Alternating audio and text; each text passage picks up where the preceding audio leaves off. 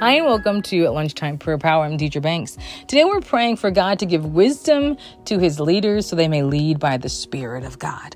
We know that the Spirit of God is in born again believers, and that's to help us. He leads us and guides us into all truth. He's a comforter, an advocate, an intercessor.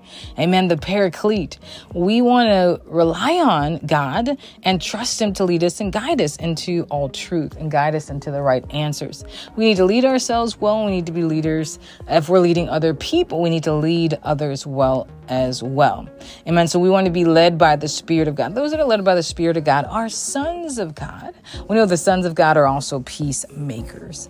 Amen. We want to be sons of God. We want to be peacemakers. We want people who have wisdom. And we want to, if it's up to us, we want to live at peace with all people. But wisdom is peaceable, it's pure. Amen. And so we want to get that information from the Lord. And if we're wise, we will hear the word of God and we'll also put it into practice. Matthew 7 and 24. Therefore, everyone who hears these words of mine and puts them into practice is like a wise man who built his house on the rock. We want to build our house on the rock.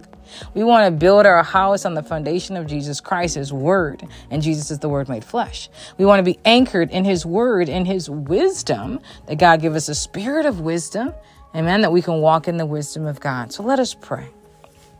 We thank you, Lord, that you are wise. You know all the answers. You have everything in you that we need. And so we don't have to go fishing around, have to wonder uh, what we should do because you have the answers. We want to acquire of you as David inquired of you. want to be wise like Solomon, who was a great ruler who knew the answers and knew how to deal with the people. He knew what to do. Help us to be wise, Lord, and help us to also receive godly counsel from others that we will not be caught up in our own ways. We know that pride is not wise Help us not to be proud and forgive us, Lord, for operating in pride. Forgive us for going our own way help us to listen to the elders, those that are speaking into our lives. Sometimes we've gone a different direction. We ask you to forgive us and we forgive ourselves. We know that you work all things together for good for those who love God, who are called according to purpose. And we ask you to help us, Lord, as you know, Solomon was wise, but then he uh, intermarried with many women who served foreign gods and, and things that were not of you. We ask you, Lord, to help us not to be led astray by the people that that we conjugate with, whether in marriage or our associations. Help us not to partner with those and be unequally yoked with unbelievers, but help us to follow you because we don't want our wisdom to be tainted. We don't want our wisdom to be compromised where we're not hearing from you clearly because we're listening to the voice of the wicked one. As Eve was in the garden and she was listening to the voice of the enemy, he said, You most surely will not die if you eat of the forbidden fruit, but God, you had said she would die. So the enemy deceived her and she did eat and gave to her husband also. Help us, Lord, not to be deceived and then also be deceiving others. We want to be wise leaders. Forgive us, Lord, for leading other believers astray, whether with our walk, we were not walking wisely, not walking in the power that you called us to walk in, where we are, were deceived, we were afraid, we did not speak boldly, but we cowered away. And so the others said, Well, if they are not in faith, how can I believe? Forgive us, Lord, for not being the witness you called us to be. Help us to turn back. Some of us uh, have made a course and and we need to make a course correction just turning a little bit to the right. Help us lord to walk wisely to walk circumspectly lowly with a contrite heart. Help us to be peaceable. If it's up to us to be at peace with all men to be bound with your peace lord help us father god to walk peaceably. Help us not to be backbiting, not uh, conflicted, and not uh, working against one another, but working in your peace, working in your victory. Help us, Father God, to seek you first, your kingdom and your righteousness. We ask you, Lord, to help us to be about our Father's business in this hour, that you will find us doing your work when you return, that we will be found doing what you called us to do. Well, this one left behind and this one going. Help us to be the one caught up in your glory, caught up in your presence, caught up in what you asked us to do. Help us, Lord to stay committed. Many falling away in this hour, turning aside from their first love. Help us, Father God, to keep your commandments. Help us, Lord to follow through with what you've asked us in your word and through your Holy Spirit. We want to be led of the Lord. Some you've asked to pick up and move across the country, some to distant lands, some you've asked to plow, to build, to war, some that you've asked to push through that dry ground and go forth. Help us, Lord, not to shrink back, not to go back, not to go back where they came out of Egypt, the Israelites, and said it was better. Did you bring us out here just for us to die in the wilderness? But you had a plan for their lives. Help us not to be stubborn, stiff necked people, but to not keep looking back to the past because it's better where we're going. You're taking us from glory to glory. You're taking us into the promised land. Help us not to be afraid about the giants in the promised land because there's giant grapes. There's a land flowing with milk and honey that you've called us to and you're taking us higher. Help us to receive the blessing that you have for us. We want to be with Joshua and Caleb who said, no, we can go and overtake them. Help us, Lord, to be courageous in battle, not afraid. Help us to pick back up. Some have lost the battle like Joshua did in Ai because there was sin in the camp. Help us, Lord, to remove the sin so we can go and win the battle and win the war.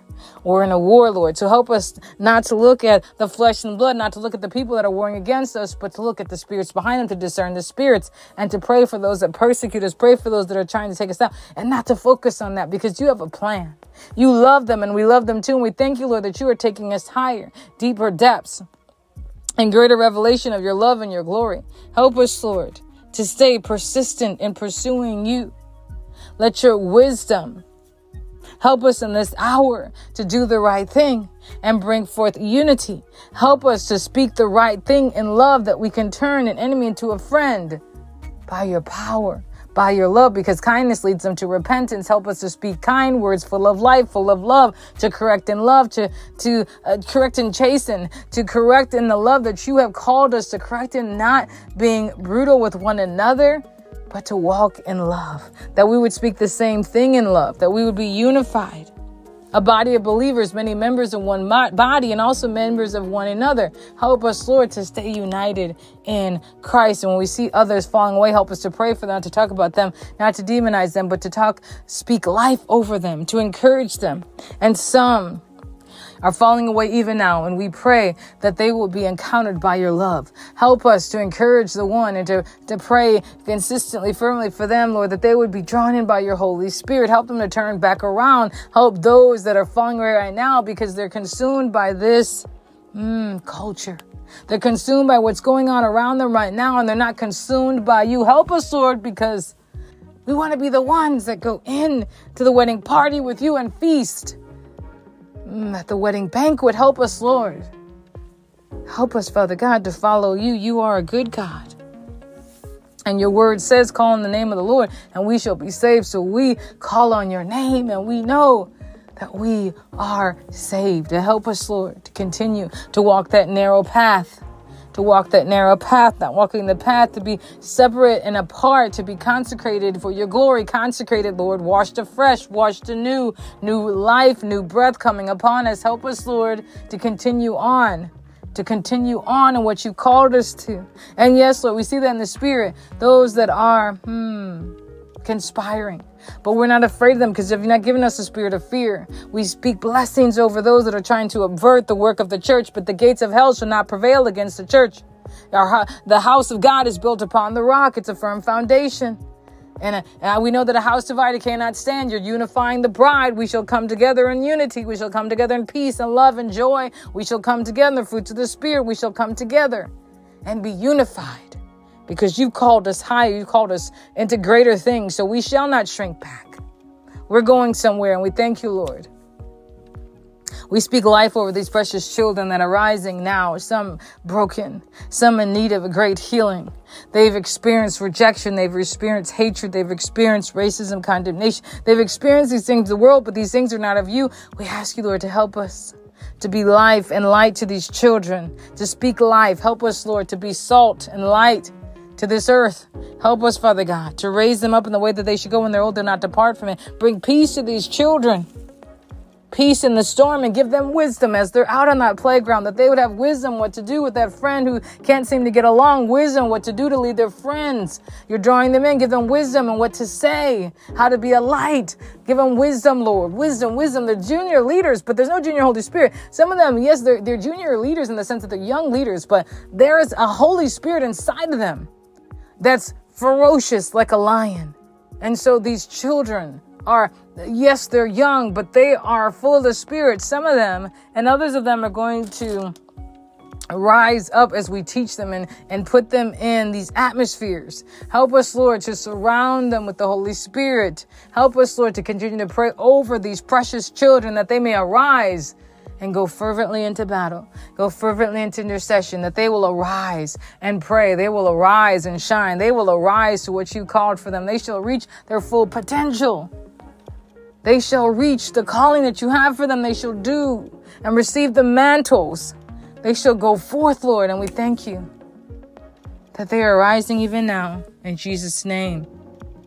In Jesus' name, bless the children, multiply the children, expand the children, expand the children's ministries in this hour in America. Expand them, Lord, multiply them, that many children are coming in and they're bringing their families or children. You know, that's the one thing the children will catch hold of it and they'll be telling their parents, Oh, I want to go to church. They have these things at church. And then the children begin to bring in the parents. Uh, the children. Now, if you grew up in the church, your parents brought you, but sometimes if you're in a house where there's unbelievers, the children are bringing the parents. And that's right, because the children get saved and the parents get saved. I lived across the street uh, for many years as family across the street. I went back to visit my home and uh, I met the neighbor and he was telling me this testimony. You know, my son, he got saved. He was in the youth group and he said, Dad, I want you to come and come and, and visit the church. And the dad resisted for a while. And it was, I don't know how many years he said, but he resisted for a while. And finally he went and he got saved. Amen. So the child brought the father in and his family was saved. Hallelujah. Sometimes it's the family, the, the father that's saved and the mother, and then the children get saved. But sometimes it's the other way. But if they get saved, hallelujah, so be it. So let the children come in. Suffer the little children unto me, the Lord said. And the children can be helping to bring in those parents so they can be saved too. Amen. God is so good. He's so awesome. I'm just enamored by the goodness of God, and I'm so grateful for, for who He is in my life. He's a good God. He's so faithful, and He's He's a helper, a friend, a really a good friend, a great friend, a great friend. Amen. We blessed on today. Press into the power of God. He's a good God. Be blessed.